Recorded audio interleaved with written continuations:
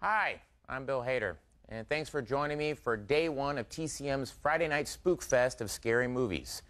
For the rest of the night, we are going to be introduced to some mad scientists, some who want to bring to life new creations, others who want to rule the world.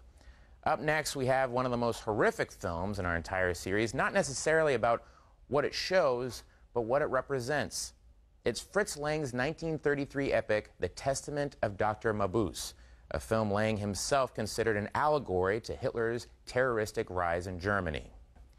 The movie is a sequel to Lang's silent 1922 film Dr. Mabuse the Gambler, which was based on a book by Norbert Jacques and turned into a screenplay by Lang's wife at the time, Thea von Harbou. In our film, the criminal, Dr. Mabuse, is a patient in a lunatic asylum, but his criminal activity has yet to cease. Somehow he's controlling the underworld from his cell.